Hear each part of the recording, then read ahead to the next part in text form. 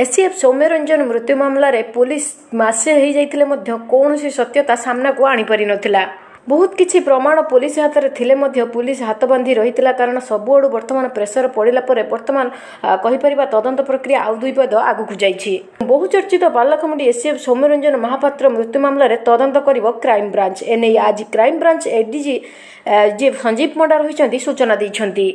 Police ଡିଜିଙ୍କ ନିର୍ଦ୍ଦେଶରେ ଏହି ମୃତ୍ୟୁ ମାମଲାର ତଦନ୍ତ କ୍ରାଇମବ୍ରାଞ୍ଚ ନେଇଛି ବୋଲି ସୂଚନା ଦେଇଛନ୍ତି। ଏଥିପାଇଁ କ୍ରାଇମବ୍ରାଞ୍ଚ ଡିଏସ୍ପି ନେତୃତ୍ୱରେ ତିନି ଜଣିଆ ଟିମ୍ ଗଠନ କରାଯାଇଛି।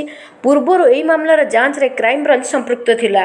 ମାମଲାର ତଦନ୍ତରେ ଗଜପତି ପୁଲିସକୁ ସହାୟତା କରୁଥିଲା କ୍ରାଇମବ୍ରାଞ୍ଚ କିନ୍ତୁ କ୍ରାଇମବ୍ରାଞ୍ଚ ଏଡିଜି ସୂଚନା ଦେଇ କହିଛନ୍ତି ଯେ ଡିଜିପିଙ୍କ ନିର୍ଦ୍ଦେଶରେ କ୍ରାଇମବ୍ରାଞ୍ଚର ତଦନ୍ତ ଭାର ନେଇଛି। ଏହା ଏକ ସ୍ପର୍ଶକାତରକ ଘଟଣା ହୋଇଥିବାରୁ କ୍ରାଇମବ୍ରାଞ୍ଚ ତଦନ୍ତ କରିବ।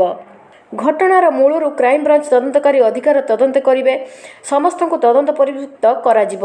ଗତ ଜୁଲାଇ ବାର ତାରିଖ ରାତି ପ୍ରାୟ ନଅଟା ସମୟରେ ସୌମ୍ୟରଞ୍ଜନ ପାରଲାଖମୁଣ୍ଡି ସ୍ଥିତ ନିଜର ସରକାରୀ ବାସଭବନରେ ନିଆଁ ଲାଗି ପଞ୍ଚାନବେ ପ୍ରତିଶତ ପୋଡ଼ି ଯାଇଥିଲେ। ପରେ ଏକ ଘରୋଇ ମେଡିକାଲରେ ଚିକିତ୍ସାଧୀନ ଅବସ୍ଥାରେ ତାଙ୍କର ମୃତ୍ୟୁ ହୋଇଥିଲା।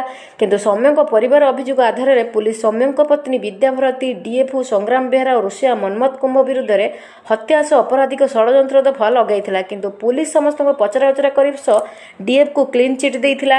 କିନ୍ତୁ ବିଭିନ୍ନ ପାରିପାର୍ଶ୍ୱିକ ପ୍ରମାଣ ଘଟଣାବଳୀ ଆଧାରରେ ମୃତ୍ୟୁ ପଛରେ ଷଡ଼ଯନ୍ତ୍ର ଆଡ଼କୁ ଆଙ୍ଗୁଠି ଉଠିଥିଲା ବେଳେ ଏଯାଏ ପୁଲିସ କୌଣସି ନିଷ୍କର୍ଷରେ ପହଞ୍ଚି ପାରିନାହିଁ ତେଣୁ ସୌମ୍ୟଙ୍କ ମୃତ୍ୟୁକୁ ମାସେ ପୂରିଥିଲେ ମଧ୍ୟ ରହସ୍ୟ ଉପରୁ ପରଦା ହଟିପାରିନାହିଁ ତେଣୁ ବର୍ତ୍ତମାନ ଯାହା ଯାହା ଉପରେ ଆଙ୍ଗୁଳି ଉଠିଛି ଆମେ କହିପାରିବା ବର୍ତ୍ତମାନ ତଦନ୍ତ ପରିସରକୁ କେଉଁମାନେ ଆସିବେ କ୍ରାଇମବ୍ରାଞ୍ଚ କାହାକୁ ତଦନ୍ତ କରିବ ସେଇଟା ହିଁ ସମୟର ହିଁ ଅପେକ୍ଷା। ନିଶ୍ଚିତ ଭାବରେ ଆପଣମାନେ ଜାଣିବାକୁ ପାଇବେ କେମିତି କ'ଣ ସିବିଆଇ ତଦନ୍ତ କରୁଛି ଆଉ କେତେ ସତ ବାହାର କରୁଛି। ତ ସମସ୍ତଙ୍କର ସାରା ରାଜ୍ୟର ନଜର ରହିବ ବର୍ତ୍ତମାନ ସିବିଆଇ ଉପରେ। ତ ଆପଣମାନଙ୍କୁ କ'ଣ ଲାଗୁଛି ସିବିଆଇ ନିଶ୍ଚିତ ଭାବରେ ସତ୍ୟ ବାହାର କରିବ ନା ପୁଣି ଦାବିଯିବ ନିଶ୍ଚିତ ଭାବରେ ଆପଣମାନେ କମେଣ୍ଟ କରନ୍ତୁ। ରହୁଛି ନମସ୍କାର।